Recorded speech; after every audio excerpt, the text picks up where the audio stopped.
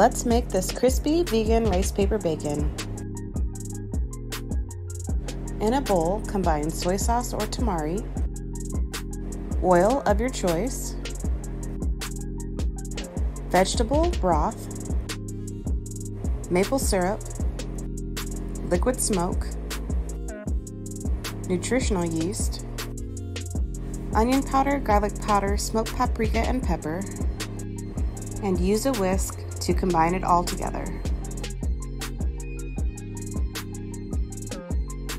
Next, using clean scissors, cut your rice paper into strips. Take two strips of the paper, place it into warm water, and then place into your seasoning mixture and scrape off the rest of your liquid.